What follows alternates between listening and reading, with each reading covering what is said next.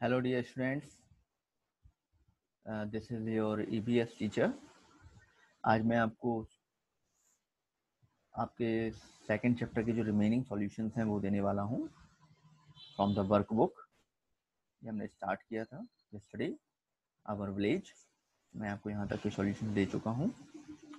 आगे के सॉल्यूशन हम देखते हैं from the page number 15 yes from the fill in the blanks fill blanks देखते हैं फ़र्स्ट हम। फ़र्स्ट है, the head of village panchayat is village panchayat के हेड को हम क्या बोलते हैं? Sarpanch. Okay? When we draw a map on paper जब पेपर हम कोई मैप ड्रॉ करते हैं south is always faces downward नीचे की तरफ़ हमेशा कौन सा होता है? साउथ और अपवर्ड डायरेक्शन में कौन होता है? North okay? A family with father एक फैमिली जिसमें father mother and a child होता है, वो फैमिली कौन सी होती है? Nuclear family okay and daughters daughter जो होती है डॉटर की डॉटर जो होती है, उसे हम बोलते हैं granddaughter okay and generally the main occupation of villagers is जो विलेजर्स होते हैं उनका जनरल ऑक्यूपेशन क्या होता है? जनरली ऑक्यूपेशन क्या रहता है? Farming clear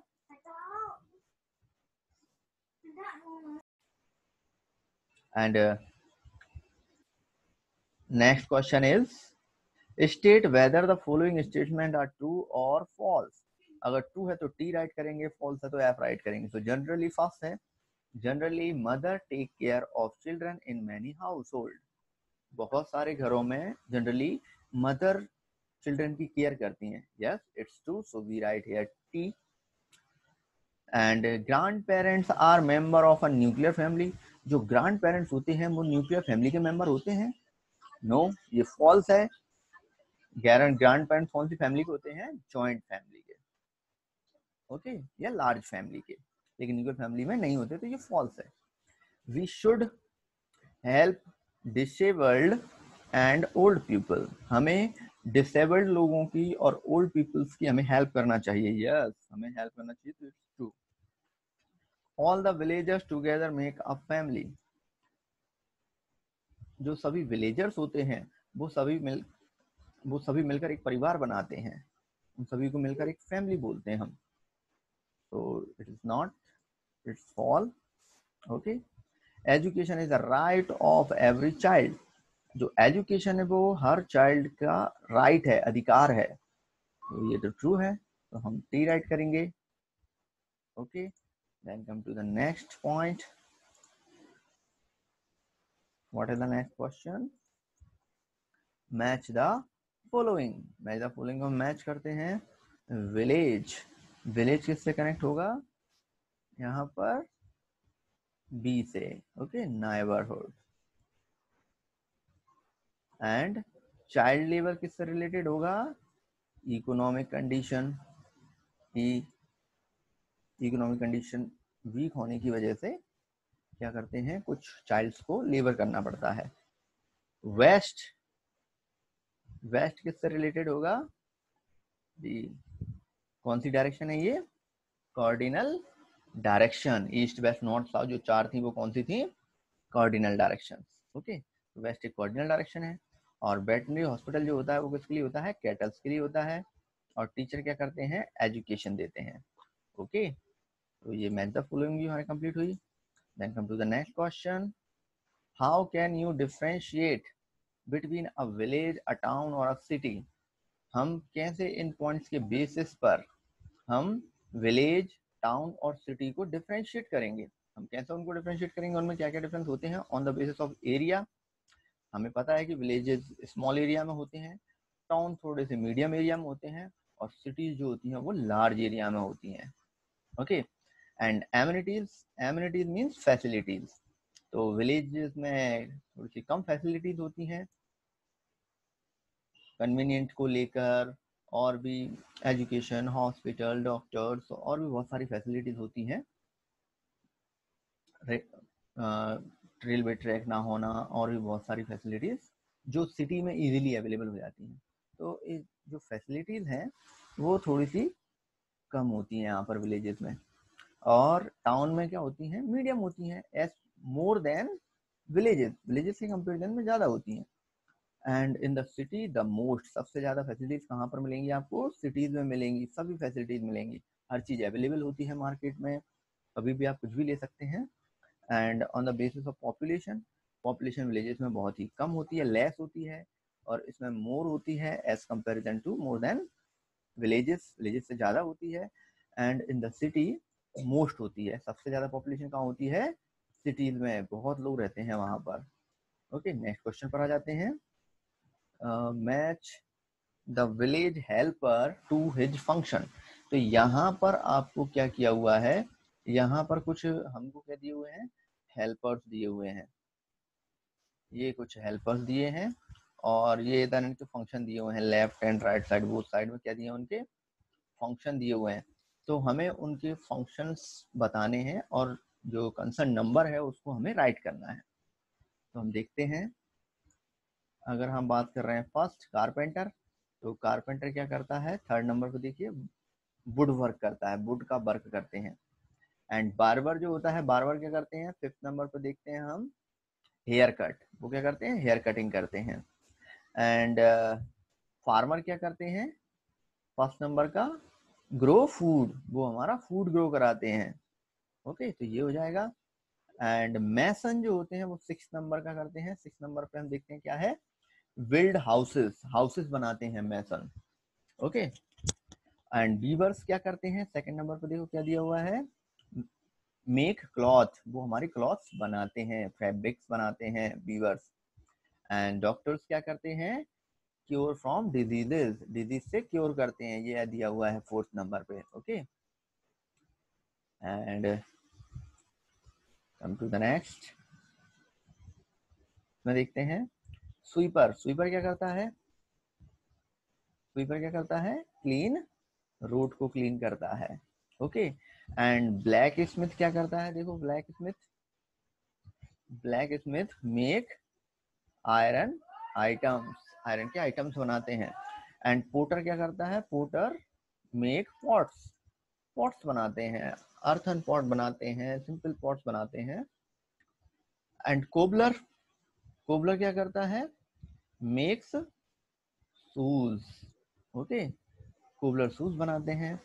और प्लम्बर क्या करते हैं? मेंट्स पाइप पाइप्स को रिपेयर करते हैं सेटिंग करते हैं। And tailor tailor stitch our cloth और टेलर हमारे क्लॉथ को सिलता है। तो ये हम हो गए हमारे हेल्पर्स एंड देयर फ़ंक्शंस अब हम यहाँ पर आते हैं write and appropriate slogan for this picture यहाँ पर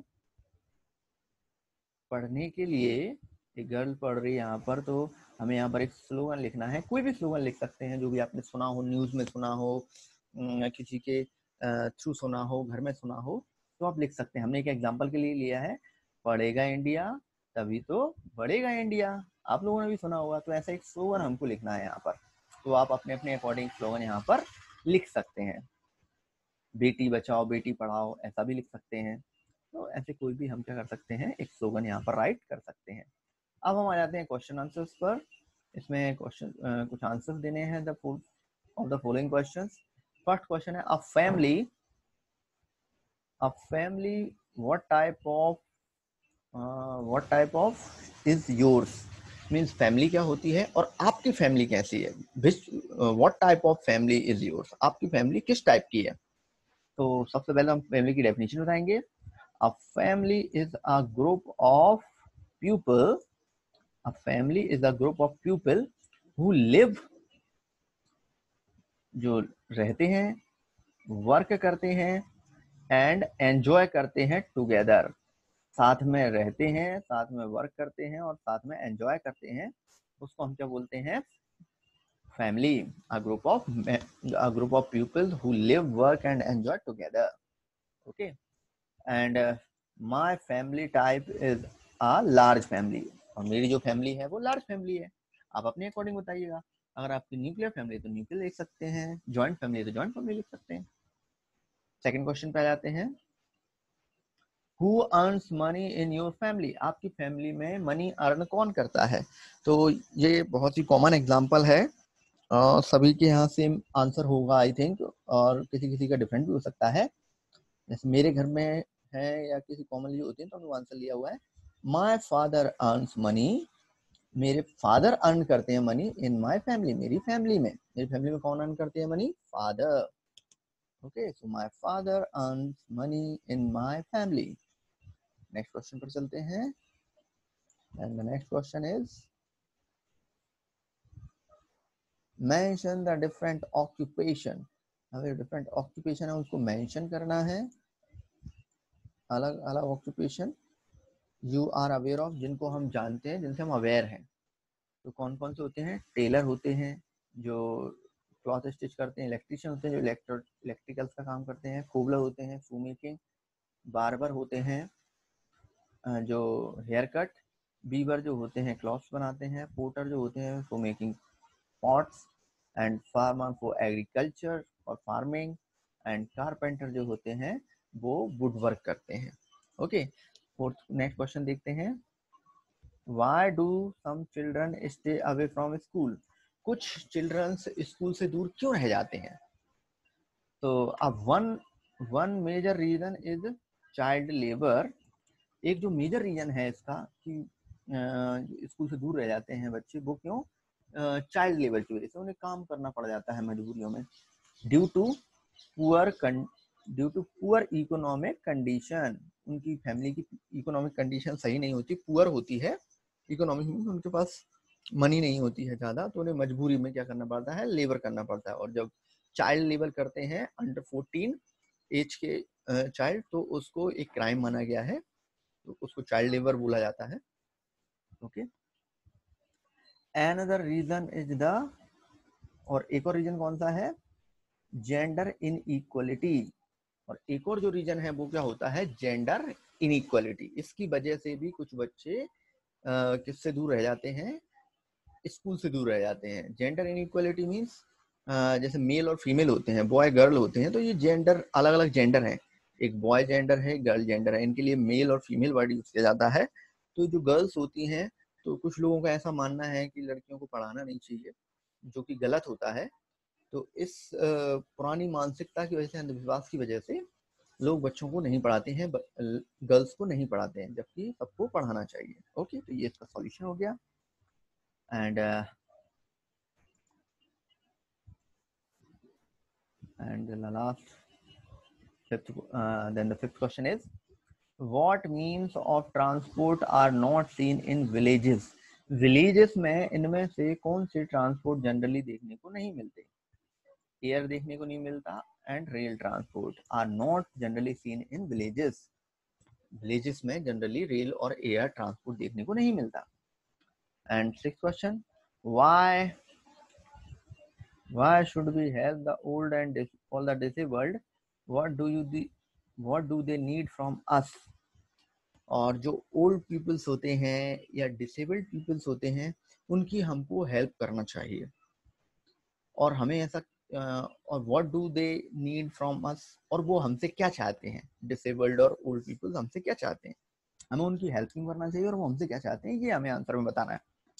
तो we should we should help the old हमें ये क्वेश्चन से आ जाएगा इतना। वी शुड अब यहाँ पर क्वेश्चन था, इसलिए शुड आगे आ गया था हेल्पिंग वर्ब अब वी के बाद आएगा, है ना सब्जेक्ट के बाद। We should help the old and the disabled ये जहाँ तक क्वेश्चन हो गया, हमें उनकी हेल्प किसकी? ओल्ड एंड डिसेबल की हेल्प करना चाहिए बिकॉज़ क्योंकि they may find it difficult to do certain things क्योंकि वो कुछ वर्क करने में, कुछ ये करने में सर्टेन थिंग्स कोई पर्टिकुलर वर्क या थिंग्स करने में, क्या करते हैं, वो डिफिकल्टी महसूस करते हैं। डिफ़िकल्ट डिफिकल्टी उनको आती है। तो ऐसे काम में हमें उनकी क्या करनी चाहिए? हेल्प करनी चाहिए। जैसे कोई भी एक ब्लाइंड पर्सन है और उसे हमें रोड क्रॉस कराना है। तो ट्रैफ़िक हम जानते हैं, ज़्यादा होता है रोड पर तो उनको रोड क्रॉस कराना एक गुड हैबिट है है ना? क्योंकि एक ब्लाइंड पर्सन रोड क्रॉस कैसे करेगा? ट्रैफ़िक कितना होता है, कोई भी एक्सीडेंट हो सकता है तो हम उनकी वहाँ हेल्प कर सकते हैं, जहाँ उनको डिफिकल्टी है okay they need support from us और वो हमसे क्या चाहते हैं? हमसे सिर्फ़ क्या चाहते हैं? सपोर्ट चाहते हैं okay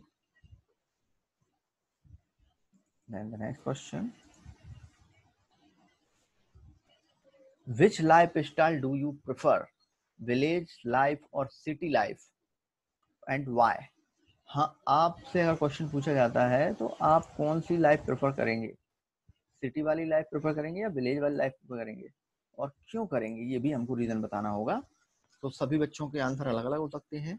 किसी को विलेज होगा तो वो विलेज लिख सकता है। एंड और किसी को अगर सिटी प्रेफर है तो वो सिटी लिख सकता है। तो उसका आंसर क्या होगा? अगर सिटी है तो I prefer city life because we can avail all kind of amenities मैं सिटी लाइफ को प्रेफर करूँगा बिकॉज़ क्योंकि वहाँ पर क्या होती हैं? सभी टाइप की क्या होती हैं? फैसिलिटीज़ अवेलेबल होती हैं एम्यूनिटीज अवेलेबल होती हैं। एम्यूनिटीज मीन फैसिलिटीज़ ओके तो हमारा ये चैप्टर के सॉल्यूशन कंप्लीट हो गए हैं। आई होप आप लोगों को समझ में आया होगा। Uh, if you have any doubt you can ask. Good luck.